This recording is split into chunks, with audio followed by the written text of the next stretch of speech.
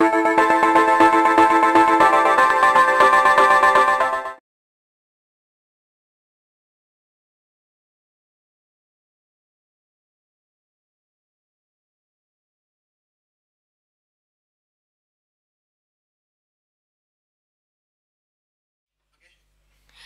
Pondok adalah sistem pendidikan agama yang mempunyai tradisi sejak beratus tahun dahulu di Nusantara khususnya Malaysia. Namun sehingga kini keadaan pondok masih sama dan dilihat serba kekurangan khususnya aspek infrastruktur.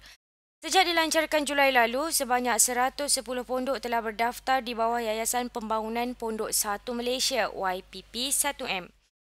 Ia bertujuan bagi memelihara serta memperkasa sistem pendidikan agama di Malaysia. Selaras perihal tersebut, kerajaan akan memperuntukkan dana sebanyak RM1,000 kepada guru besar dan RM500 kepada tenaga pengajar. Ia merupakan insentif awal pihak kerajaan kepada institusi pondok yang banyak menyumbang kepada pembangunan dan perkembangan agama.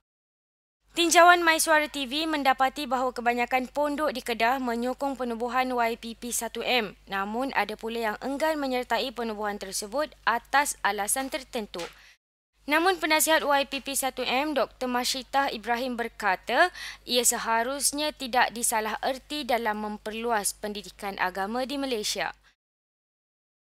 Menurut pengerusi YPP 1M Kedah, Ustaz Sobri Osman, ia merupakan langkah terbaik bagi menaik taraf sistem pendidikan pondok selaras dengan aliran pendidikan lain.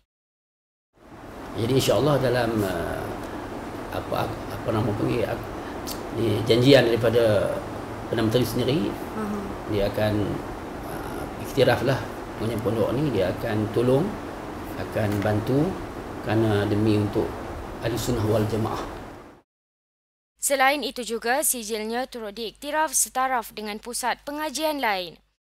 Jelasnya lagi, Menteri Besar Kedah Datuk Mukhris Mahathir telah memperlihatkan kesungguhan beliau dalam perkara tersebut. Sementara itu, pengurusi Jawatan Kuasa Tetap Agama Kedah, YB Rawi Abdul Hamid berkata, YPP 1M ini bakal menggerakkan usaha melahirkan graduan yang berkualiti serta mampu melahirkan ramai tokoh dan ilmuwan. Uh, Jabatan Agama merancang untuk kita memohon perkenan Duli Yang Maha Tengku, Mahat Tafiz yang Idawi dan Sianiah itu kita akan upgrade kepada Mahat Tafiz Diraja. Uh, jadi mana-mana Mahat Tafiz yang ada di Kedah yang berselerak kan ni, Uh, kalau mengaji ada yang gurunya daripada orang Pakistan, ada yang daripada petani, daripada ada gaji tak ada gaji semua tu.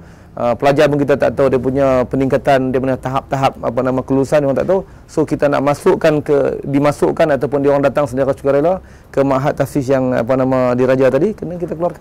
Karena Mahat Tafsir diraja ni dia ada collaboration dengan Jakim Darul Quran di Kuala Lumpur. Di Kedah, sebanyak 8 buah sekolah pondok telah menyertai YPP 1M ini. Usaha akan terus dipertingkat untuk menaik lagi penyertaan sekolah pondok lain. Jelas rawi lagi YPP 1M ini akan beroperasi sepenuhnya awal tahun depan. Di pun, uh, memang uh, dalam usaha bukan saja dibuat oleh pihak apa nama kerajaan negeri bahkan telah pun dirancang oleh pihak Jabatan Agama Islam kerana melihat kepada kecenderungan umat Islam di Malaysia ni suka menghantar anak-anak belajar tahfiz ni. Yayasan Pembangunan Pondok Satu Malaysia ini telah ditubuhkan hasil cetusan idea Perdana Menteri Datuk Seri Najib Tun Razak. Beliau bertindak sebagai penaung manakala Dr. Mashita sebagai penasihatnya. Yayasan ini bertujuan bagi menjaga, memelihara dan memperkasa sistem pengajian pondok di Malaysia. Dengan itu, diharap institusi pondok lebih berdaya maju dan dapat mempertahankan kelangsungannya di masa hadapan.